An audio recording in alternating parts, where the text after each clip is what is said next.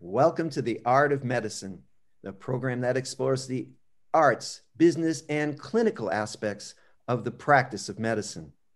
I'm Dr. Andrew Wilner, and my guest today is Dr. Jeff Anzalone. Welcome, Jeff. Hey, thanks very much for uh, having me. Looking forward to our conversation today. Well, Jeff, your your day job is as a periodontist, right? And that that's going great. But today we're going to talk about your other job, which uh, is uh, the business of medicine and a way for physicians and dentists and, and other, let's call them high earners, although that's certainly a relative term. You know, sometimes high doesn't seem, people say, oh, Dr. Wilner, you're a high earner. It's like, well, it doesn't feel that way. And uh, I think you have a solution to that, right? I mean, or at least an approach that that might help. Maybe make someone who's a high earner a, a higher earner. is that is that uh, what we're trying to accomplish here? That that is exactly what we're trying to accomplish. You've hit the nail on the head. And uh, all right, so tell me, let's go back to the beginning. How you came, in, you know, you wanted to be a dentist. You're a dentist. You enjoy your practice. It's working well and uh, but you had some other experiences that kind of headed you in this direction. Uh, tell me about that. Yeah, I, I was getting ready to join, uh, have a comfortable career joining a group practice, but unfortunately, a couple weeks before my training ended, uh, that fell through. So that left my wife and I with a uh, two-month-old, no job experience, no 300,000 of student loan debt we'd already bought a house. We were paying interest only. And the, the worst part about it is, it's, you know, same thing with dental school and medical school. They don't teach you how to start a business or a practice. You know, we don't get any any type of business training. So luckily, I'm I'm from a small town here in Louisiana, so word got out very quickly, as you can imagine. And I had several people sort of bring me under their wing, and they and they showed me the ropes. They taught me, and they allowed me to rent space from them, use their equipment. But I, I think that was when I when I look back and I could tell I had a mindset change at that point because you know you're you're in school, you've got debt, but you're thinking, well, I'm going to get out and make good money, right? So you don't worry about it too too much. But when all that happened, it was like you went from I went from having a potential comfortable income to zero. So I went from that sort of mindset to more of a scarcity mindset. Let, let me interrupt you for a second because I, I want to make a point of something that happened and, and ask you a question. When that job fell through, right? I mean, you're you're cruising, you're ready, and all of a sudden you get a call or an email. And uh, was it through any fault of your own? I um I, I, still to this day really don't know the reason why they called it off. They just right. said. Well, that's yeah. what I figured because that's the point I wanted to make. Because my experience in business, and, and I think doctors have this experience, you know, when we're consulting with each other, there is always an assumption that you're being completely honest. You know, why wouldn't you? You know, if, if, if I ask you something, you know, well, what about this tooth or that tooth? Should I do this? Should I do that?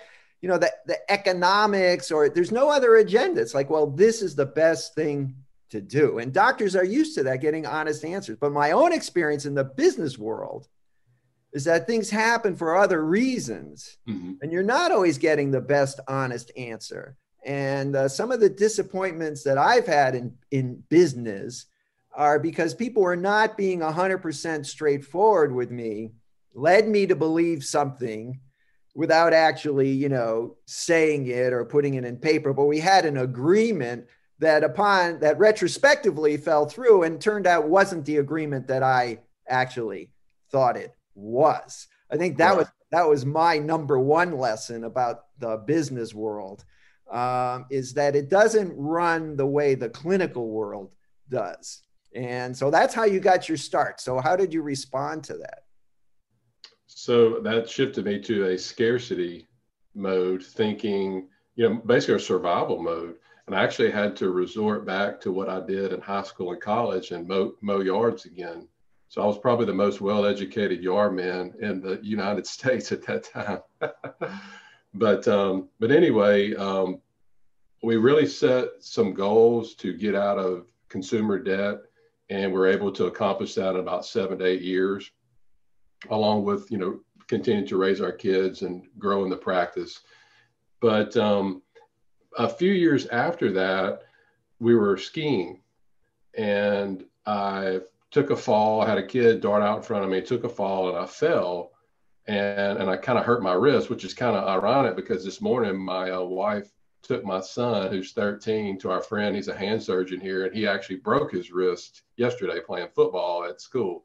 So, um, so when I fell, I got up and and I, you know, being being a kid, you you think that you're you know invincible, right? So you never think about you know being injured until you're injured, and I think that's kind of started me thinking okay, it wasn't a bad injury, but what if it what if it had been? What if I'd have broken my wrist and I couldn't have worked for two or three months? Right. I make my living with my two hands. I can't do right. it one handed, right? At least I don't exactly. one handed periodontist. Yeah.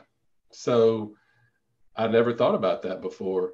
And I said, well, the, my family is relying on my one income coming in from my practice, and that's it so but i didn't know what else to do but that started me down the road to looking for other ways to to get income and uh, in the meantime you by necessity you just started your own practice right when uh, correct while mowing lawns you rented space you just set it up you advertise it's a small town people showed up now and then and uh, so i'm sure you learned a lot about business the hard way just by doing it, right? You have to hire staff.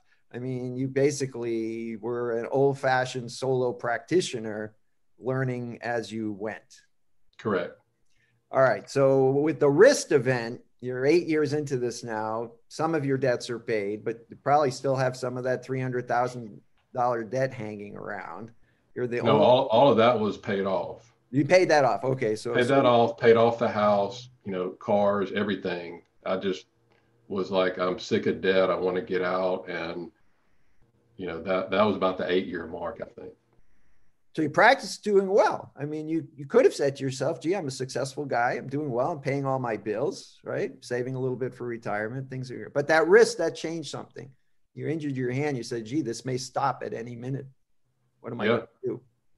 Can't even mow a lawn when you got a bad hand. So uh, that's, that's true with those. You know, you got to you got to do it like this with now, not the steering wheel, but it's the the 360 degree mower. So yeah, that's right. so what did you do?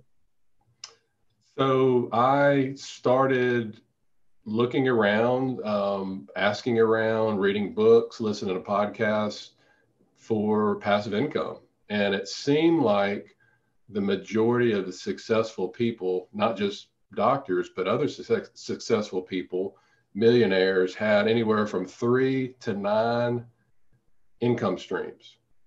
That was that was a normal, and I, I had one, and that you know I think the worst I've heard it one time said the worst number in business to have is one one of anything. You know, where you rely on one thing, and that one thing goes away, then that's that's not good. But I had no zero knowledge about real estate. I bought my house, personal residence, that's it. And and real estate seemed to be what most people were doing. So then I started learning about it and sat down and I think it's very important if you're married, I sat down with my wife and we made out some goals. But one of the goals was to continue to spend more time with the kids while they're still at home, which trying to get you know, buying a bunch of property, single family homes, apartments, uh, being a landlord, that, you know, those two don't go together because you're, you're getting, you're adding more jobs and times. So luckily I found out there was other ways you could get into real estate that would allow you to not be a landlord and started to learn more about that. There's, there's different ways to do it. Um, started with crowdfunding online where you, you put a little bit of money in to something. Um, some of those worked out pretty well, but I had one big deal about three years ago, four years ago, that I invested $50,000 online in an apartment complex in Tulsa. And unfortunately, every investor lost their money. Um, but it was no fault of my own because looking back, I didn't have a clue what I was doing. It was basically I was putting my trust in that website. Well, there we go again, right? You trusted these guys to be honest, and it turns out it was really swampland in Florida. There, there were there was there was no apartment building there. Well, it was an apartment building, but what they didn't disclose was it was in a crime infested area. More people were moving out than moving in, and the person went in tried to fix this place up, lost all their money, and it shut down. So that was a big lesson right there. And and that was about the time I started my blog because I wanted to share my experience with people. And as I started learning more about this, I just started putting my information and experiences and then now it's it's really taken off. Just let me interrupt you again just for those who are too busy to watch this entire program, uh, which will only be about 15, 20 minutes, but I want to ask you what, how can they find you? What's your blog address so that I can put that up there? It's a debtfreedr.com. Debt free doctor. So debtfreedr.com. Okay, great. The, the, the word debt free doctor was already taken. So I had to go, go with debtfreedr.com. Understood. All right. All right. Thank you. Please continue. Okay. So, um, so that that started me to with the blog, and um, it was really cool. And as you know, with with what you do with with connecting with other doctors, physicians, dentists, I started having people reach out to me and to how you know I like I like what you're writing. You know, keep up the good work. But then I had another group of people that were really interested in my investments, really inter- the investings that we were doing, interested in the returns, interested in being able to get multiple streams of income. So, you know, you're going to have people that want to retire early. You know, they're they're sick of working, they're sick of insurance reimbursements going down, they're sick of the paperwork, they're just they're burned out. But then you have other people like myself and, and you and others that enjoy what they're doing, but maybe you want to cut back or maybe you want to do something else you know you maybe you want to you know start a mission somewhere but still do your work well having extra streams of income give you options versus the way that i was going with one income stream you, you know putting money in a 401k hoping that i would have enough to retire on i don't run out. That doesn't give you a lot of options. So basically just what I'm learning and doing, I'm putting on the blog, and it's allowed me to connect with a lot more people, and they're a lot more interested. And, and I basically I share the investments that I'm I'm going to invest in on there and why.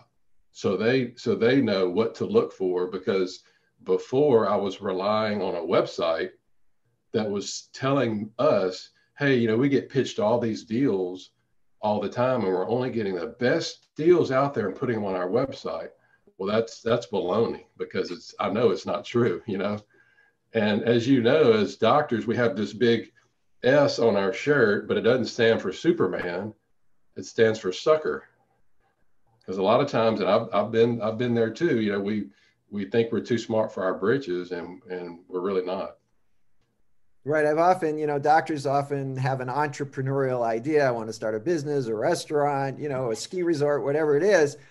And they forget that to get where they are as physicians, you know, they put in 80 hours a week for seven years. And uh, now they, they took an online course, you know, they got 100 hours in and they're experts on starting a restaurant you know, so that uh, many uh, physicians underestimate what what it really takes to be successful in business, and and most of them, I think it's fair to say, really don't have the free time to invest what they need to be successful if they're going to continue you know practicing clinically and be good at it you know and, and i frankly have been a little disturbed by seeing people who are practicing but you talk to them you know, you, you bump into them in the hallway and all they're interested in, you know, is their other business, you know, or the stock market went up today or down, or, you know, I'm buying this uh, new plot of land. I'm going to start a company. Yeah. It's like, but what about the patient you just saw? You know, there's, there's only so much room in your head. You know, and medicine is a pretty challenging, I would say, and uh, consuming uh, profession to do well. So I'm not saying you can't do both, but I think you have to be very, very careful about uh, looking at the requirements for investment. And what, what's attractive about what you're talking about, this passive income, is you're not going to be the landlord. You're going to work uh, presumably with with a group of people or by yourself, and it's. I'm also troubled by the term passive income because I can tell you from personal experience, all the things I've done for passive income, like book royalties, have earned me about a, a penny an hour, I would say, uh, if you if you look at what's come in versus what I put in. So the, the word pat. So tell me what you mean by passive income. Why don't we talk about that? Passive income is is nothing more than money coming in that you don't actively have to to work for. So you can keep treating patients, but keep getting checks every month or every quarter. But it, it's it's it's not easy because you still have to work, you still have to have active income in order to get passive income. And I think that's where the misconception comes in because make, people make it look so easy, but you've got to put in the work, you know, up front in order to have that. It's just not like it's going to magically appear. Right. So it's but, like writing a book. You get, oh, I'm getting royalties from my book from two years ago. It's like, yeah, but that book took three years to write. It's, yeah. You know, today I didn't do anything and the check came in. So there's a lot of upfront analysis. Plus, you have to have the capital, right? Exactly. And you got to be willing to lose that capital because, you know, real estate isn't magic. Not every deal is going to be profitable, I assume. Is that right? Exactly. So, um, and I think with when another thing that that happened that uh, that caused a lot of people to to rethink, I think their specialty is is when the pandemic hit, and you know many people, including myself in Louisiana, we were shut down for two months, and and people are sitting around going, wait a minute, I've got this. Especially for me, owning my own business, it's not like if I work somewhere, that's a little bit different. You don't still have all the overhead, but with two months shutting down, man, if I didn't have these other streams of income coming in, that would have been tough. So I think that allowed people to rethink maybe their income situation. And I, and I, and I, I'm in, uh, subscribed to several forums online and man, you could, during that March, April, May time when all that first hit, it was just eye opening seeing how much people were really had fear for their livelihood so to me, it's so enjoyable talking to people on a, on a weekly basis, and you can just hear the excitement in their voice. You know, I talked to a cardiologist last week from Southern California, and she had heard me on a podcast, and she just called. She's so excited. She's just like, uh, "You mean to tell me I don't have to work and treat patients till I'm 70? That if I want to get, you know, it's just like." Uh, you know, it, yeah, if you want to keep doing it, that's fine. But again, it gives you options out there. And and I wanted to do something, uh, you know, because I've been screwed over in the past. I wanted to do something that was ethical. And if you go to my website, there's there's no ads, there's no pop-ups for, you know, buy this or you know all that kind of stuff. So it's very clean, and that's that's how I want it because I um I, I work and, and I don't have to do it. It's I want to do it. I, sh- I share your view. My website is the same. Every now and then I thought, oh, well, I could have some ads. It's like, no, this is, you know, my website. I make all the decisions I put up there, you know, what comes from my heart. I think it's a passion project, right?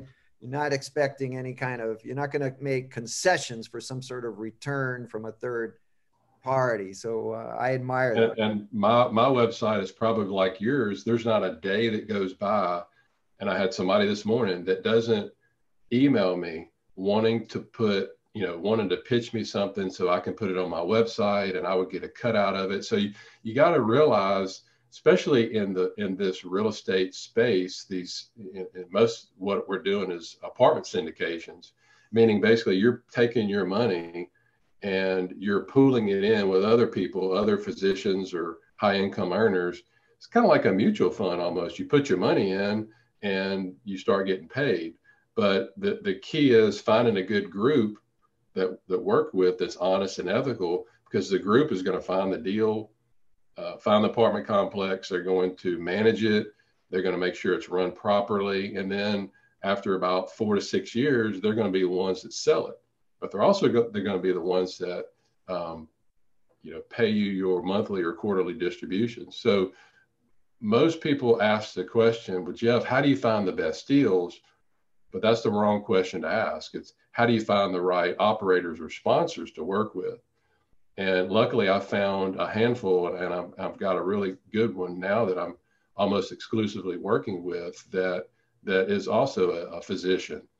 And it took me uh, a year of, of meeting with them and, and walking property with them and, and learning about their business model and getting to know them and their family before I was comfortable not only investing myself, but also recommending it to others.